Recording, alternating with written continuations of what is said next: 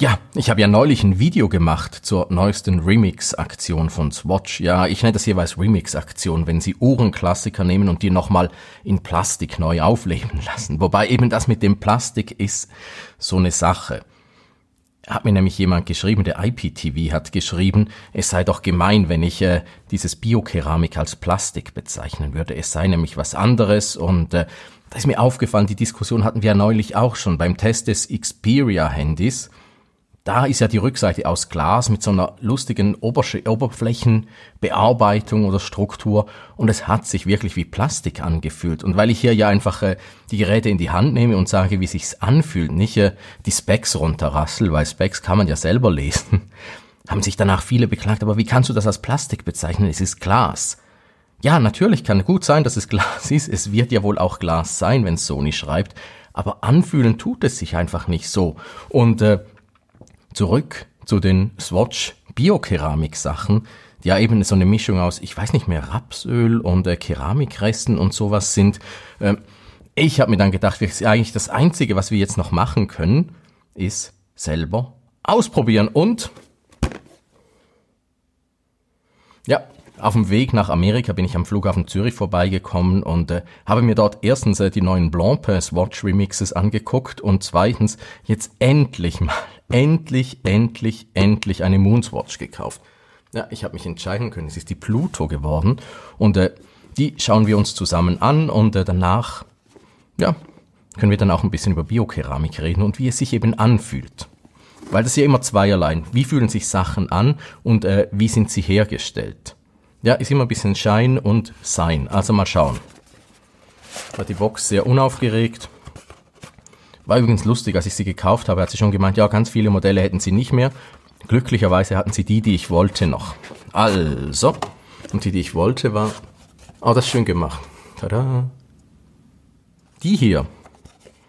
Ja, ich habe eine Schwäche für Bordeaux-Rot. Darum habe ich mir auch äh, ein Bordeaux-rotes iPhone gewünscht. Ist ja dann nicht gekommen. So. Was kriegt man da? Zettelchen. Aber wo alle nochmal drin sind, falls man noch mehr kaufen möchte. Ah, die Quittung. Genau. Eine Anleitung. Wir brauchen sowas. Und die Uhr selbst. Willst du wohl rauskommen?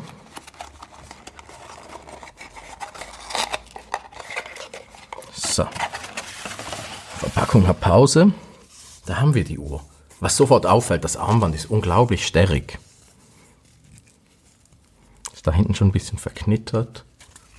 Aber das wird sowieso, wenn man es dann trägt. Und das ist ja auch die Innenseite, da fällt es nicht so aus. Oder nein, die faltet danach nach außen. Ja, müssen wir dann schauen. Ich weiß nicht, was es für ein Material ist. Erinnert ein bisschen an dieses Apple Fine Woven, fein gewoben. Auch irgend so eine, ein Textil, was sehr, sehr fein ist. Fühlt sich aber eher wie Seide an. Nicht so wie Wildleder, was bei, bei dem Apple-Ding ist. Und was auch auffällt, die Uhr ist unglaublich leicht. Oh, und hat noch ein Plastik drauf. Pfui. Wie bei Samsung. Oh, aber dann. Ich will mal diese Reflexionen anschauen. Also ich muss sagen, die ist wirklich sehr, sehr schön geworden. Bin ich jetzt wirklich überrascht. Die Knöpfe sind ein bisschen friemelig, ehrlich gesagt, aber ja, ich würde sagen, ich ziehe sie noch an und dann machen wir das Übliche, was wir in diesen Videos immer machen, einen Zeitsprung und dann melde ich mich wieder mit Alltagserfahrungen. Nein, wir machen hier ja, wenn es irgendwie geht, nicht nur Unboxings, sondern eben auch äh, Unboxings mit ersten Eindrücken kombiniert dann mit längerfristigen Eindrücken.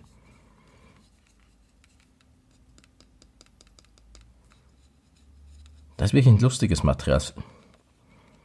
Erster Eindruck ist schon Plastik, aber wenn man dran klopft, Ja, interessant, muss ich mir da noch ein bisschen Gedanken machen.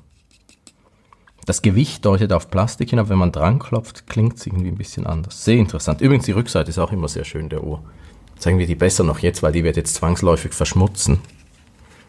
So, wie trägt man die jetzt? Ich vermute, ja, gibt ja eigentlich nur, ach so macht man das.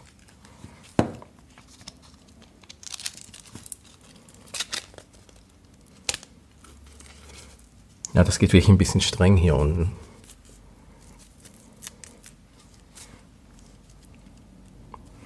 Aber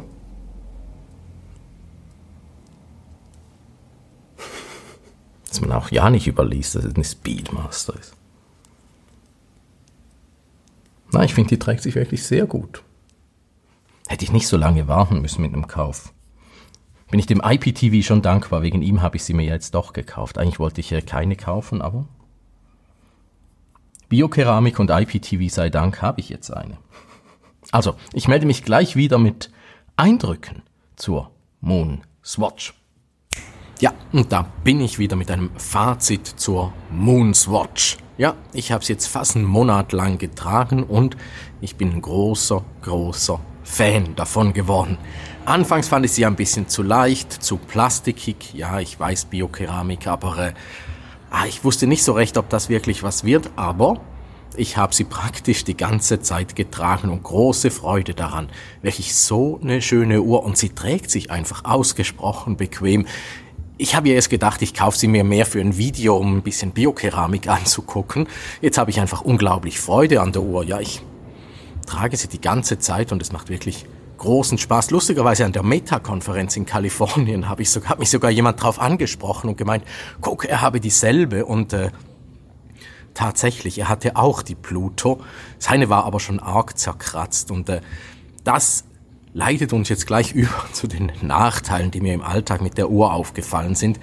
Man muss schon sehr, sehr vorsichtig sein mit der Uhr, weil, ja, das Glas ist ja eben kein Saphirglas, was ich mich gewohnt bin von den richtigen Omegas und anderen Uhren oder auch von der Apple Watch Ultra. Nein, es kann halt zerkratzen und da muss man schon sehr, sehr gut drauf aufpassen. Und eben beim Kollegen aus Norwegen war die Uhr wirklich schon arg zerkratzt, was ein bisschen schade ist. Auch beim Wasser muss man aufpassen.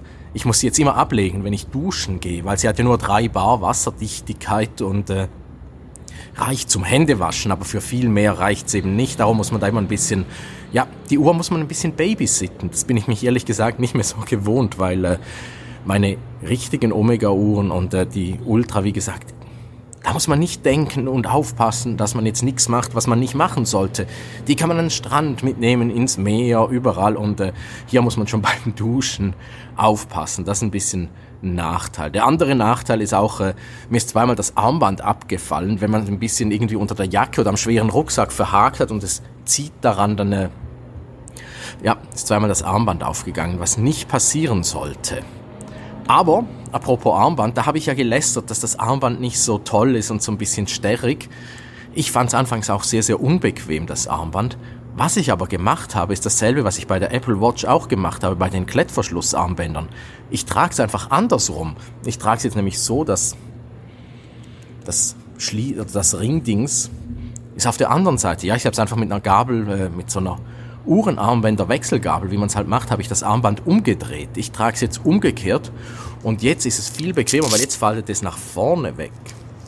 Kann man es viel bequemer tragen, anziehen und es ist wirklich sehr, sehr bequem. Ich dachte, ich wechsle sofort das Armband, habe ich bis jetzt nicht gemacht. Ich bin jetzt wirklich sehr zufrieden damit und es trägt sich wirklich sehr bequem. Dann, äh, wo wir bei den Nachteilen sind, wie gesagt, wasserdicht ist nicht so ideal. Ähm, das Armband wenn man es dreht, ist es viel, viel besser. Was mich halt immer stört bei den Swatch-Uhren, man kann nichts dagegen sagen, ist äh, das Tick-Tack. Das Tick-Tack nervt einfach. Warum müssen die so laut Tick-Tack machen? Ja, ich habe mich daran gewöhnt, aber angenehm ist es immer noch nicht. Wo ich mich auch noch nicht so recht dran gewöhnt habe, ist die Ablesbarkeit. Ja, weil es halt ein Chronograph ist, ist es ein bisschen schwieriger abzulesen als äh, die simplen Taucheruhren, die ich mich gewohnt bin so schön das Zifferblatt auch ist mit den drei Augen und allem, ich tue mich ein bisschen schwer damit, die Zeit abzulesen. Und im Dunkeln sowieso. Im Dunkeln, äh, weil es halt nicht leuchtet im Dunkeln. Ich, mir ist erst bewusst geworden, wie nützlich das bei meinen anderen Uhren ist, äh, weil ich es jetzt hier halt nicht mehr habe. Die ist im Dunkeln einfach dunkel und dann sieht man halt nix. Ja, das ist auch noch ein Nachteil. Habe ich noch sonst einen Nachteil aufgeschrieben? Ich muss mal schauen, ich habe da so ein bisschen Protokoll geführt. Lesbarkeit, dunkel, Tic-Tac, Armband, das ist meine Testtagebuch. ich würde sagen, wir haben ziemlich alle Nachteile durch. Ansonsten ist es einfach wirklich eine unglaublich tolle Uhr. Klar, 250 äh, Franken ist nicht wenig Geld, aber man kriegt dafür eine Uhr, die sich äh, deutlich teurer anfühlt, als sie ist. Klar, man kann sich dafür auch, hat neulich jemand wieder auf äh, Blue Sky, wo ich ja jetzt auch rumgeister, geschrieben. Man kann sich für dasselbe Geld auch eine tolle Seiko kaufen, mit Metall und allem. Das stimmt natürlich, aber ich wollte halt schon immer eine Bordeaux-rote Omega mit äh, Speedmaster und all dem drum und dran. Und äh, das ist genau die Uhr, die ich immer haben wollte. Und äh, ich habe riesig Spaß daran. Und äh, das mit dem Biokeramik, es fühlt sich ein bisschen anders an als Plastik, aber am Ende des Tages macht es nicht so einen Unterschied. Die Uhr ist einfach sehr, sehr leicht und darum sehr angenehm zu tragen. Aber es ist jetzt nicht so, dass ich hier zum großen Biokeramik-Fan geworden wäre. Nein, äh, wenn ich wählen könnte, hätte ich sie immer noch lieber in Stahl gehabt. Aber äh, ja, kommt jetzt immerhin der weißen Apple Watch, die ich nie gehabt habe, der Keramik Apple Watch ein bisschen näher. Von daher. Ja, nein, wirklich äh, eine gefreute Sache, diese Moonswatch. Äh, gekauft als lustiges Testgerät und äh, behalten als wirklich tolle Uhr, auf die man einfach ein bisschen aufpassen muss, weil sie halt, wie gesagt, äh, nicht so robust ist wie meine anderen Uhren, die ich mich sonst gewohnt bin. So, Falls ihr noch Fragen habt zur Moonswatch, immer her damit. Ich beantworte die sehr, sehr gerne in den Kommentaren. Falls ihr selber welche habt, unbedingt schreiben, was eure Erfahrungen damit sind. Manche haben geschrieben, die Knöpfe fallen ab. Ich weiß nicht, was man da falsch macht, dass die Knöpfe abfallen. Mir halten die auf jeden Fall alle noch bestens.